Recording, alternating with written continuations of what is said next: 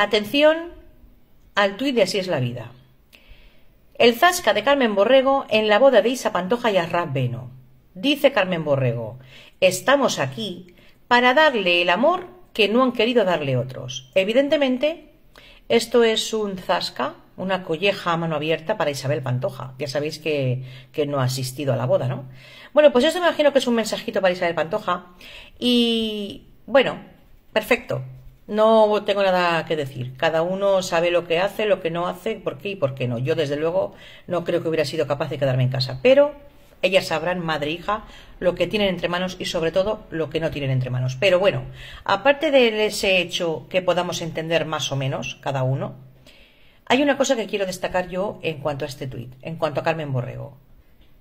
Que ella, precisamente, tenga la barra o el papo, como queramos decirlo, de echarle en cara a Isabel Pantoja que no acude a la boda de su hija, repito, al margen de que me parezca mejor o peor, ojo, pero que ella tenga la barra de echárselo en cara, cuando es precisamente ella quien se marcó en su momento una portada diciendo Rocío Carrasco nunca va a perdonar a su hija, y todo eso con grandes aires de, o con aires de grandeza, diría, me parece muy curioso cuanto menos.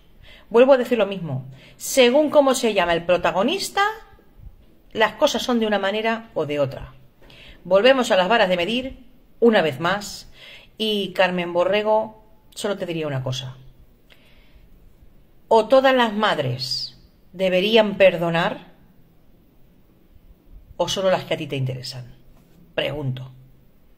Ahí lo dejo caer.